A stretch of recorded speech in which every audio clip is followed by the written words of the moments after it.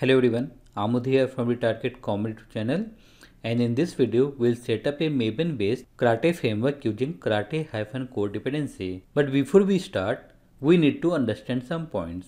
The first point, what is the minimum Java version we require for Karate framework? So if you read the official documentation of Karate framework, it says that if you are a Java developer, Karate requires at least Java 11 and then either Maven or Gradle. So first answer we got, we require Java 11 or more. And also we need to use Maven or Gradle to set up the project. And also we have some dedicated IntelliJ plugin for Karate. So the major confusion for beginners is that whether they should use karate-core dependency or they should use karate-JUnit dependency. If you read this line here, all you need is available in karate-core artifact.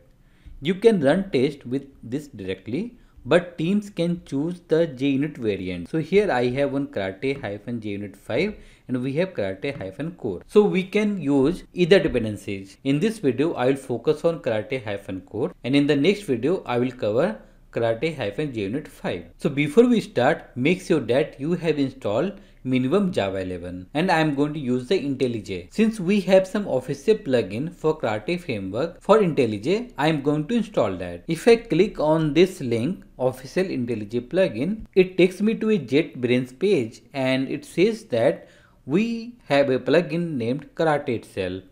And if we use this plugin, we'll see some dot feature file association, syntax coloring, code formatting and all. So let me install this plugin in IntelliJ. To install the plugin, go to file, go to settings. Here we have option called plugins.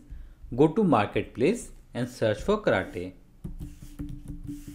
Let me install and it will ask me to restart the IntelliJ that I will do. So IntelliJ is restarted.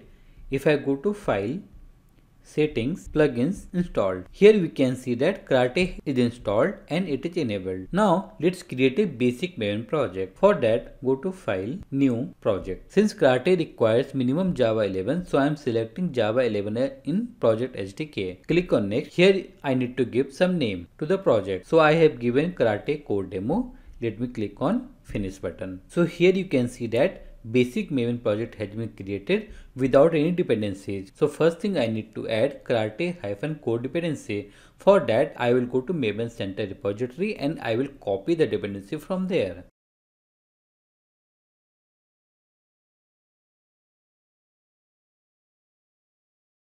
So once we reload the Maven project, if you expand the external libraries, here you can see that it has downloaded all those transitive dependencies as well, which will be required for the Karate framework. After adding the dependency of Karate-core, we need to create the feature file. But before we create the feature file, we need to understand some basic points here. If you are using Cucumber in your Selenium project or SSO project, so generally dot feature files we keep in resource folder of Maven. But in Karate framework, they say that we should keep the feature file in src test java. Do not keep that feature file in resource section. So if you read this folder structure section of official karate GitHub page, then it says that why we should keep our dot feature file in src test java.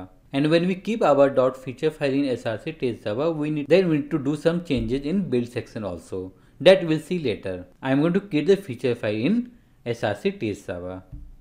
So let me create a package and I will name it as airline. Inside this package, I will add a feature file. Create airline dot feature. So you can see that karate symbol is coming for this feature file. This is possible because we have installed the karate plugin. I am going to use the instant web tools.net APIs. Here under the fake API, we have some REST APIs. Like if you want to create the airline, if you want to get the airline data and all. So sim APIs I have used for my REST Assured series. So here we have endpoint, bottom we have request payload and this is a post call. In the Karate framework, we don't need to create the step definitions. They have already created the step definitions. We need to use those steps. Like in a normal project, we create the feature file, we generate the step definition, we write the code and then that step we can use in whatever feature file I want to use. But in the Karate framework, step definitions are already written. We need to create the feature file with those steps. So let me use feature keyword and I will name it as like create an airline. I need to add the scenario. So to perform the API testing, first thing we need to pass the API endpoint. So for that we need to use the given keyword and the step start with the URL. Here you need to pass the API in double quotes or single quote. Second thing we need to pass the request body that also starts from given. So let me use the and and here to pass the request body we need to use the request keyword let me copy the request body. If I pass this payload like this, then it will be problem because it is expecting you to pass the payload in the same line. We can pass in multiple lines as well, but that I will show you later. So what I am going to do, I will convert this multi-line payload into a single line. So for that I can use any online tool.